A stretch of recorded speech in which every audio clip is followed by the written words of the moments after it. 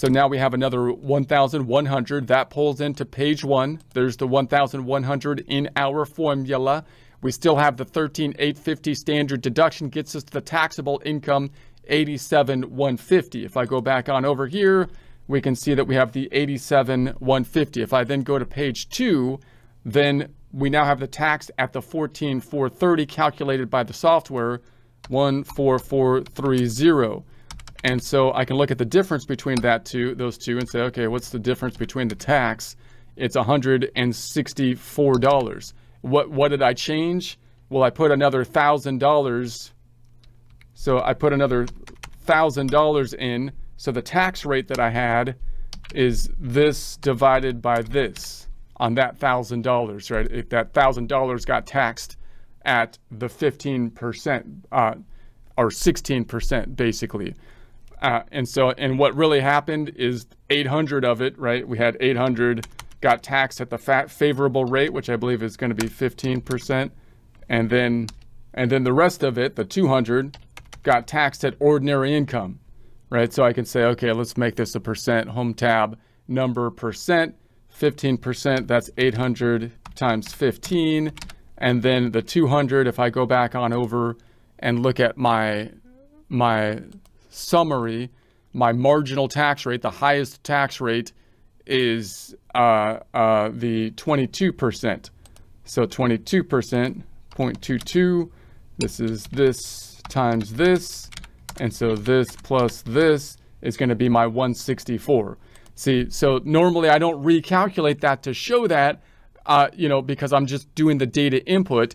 But when we're discussing with a taxpayer, what does it mean to be a qualified versus non-qualified? You get a you get a, this favorable tax bracket situation, and if you got taxed at ordinary income, the added amount of of income you had would be taxed at the highest bracket, 22%, but the the qualified dividends will typically have a favorable tax, in this case at the 15%.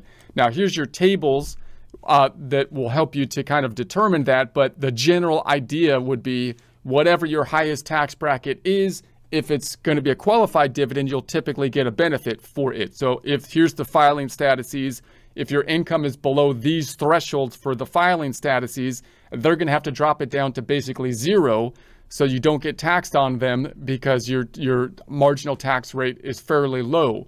Then if you go to these income thresholds, then you you have a tax rate over 15%, and therefore to give you a, a beneficial tax bracket, they're going to have to drop it down to 15% instead of your ordinary income marginal or highest tax rate. That's going to be the uh, general idea.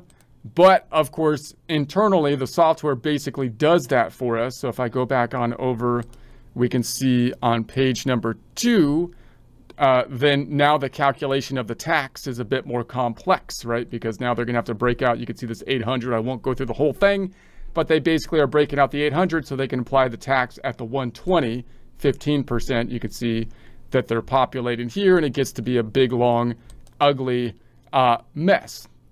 So there is that. Now, if we bring the, the dividends up above the 15,000, we'll have to add the Schedule B.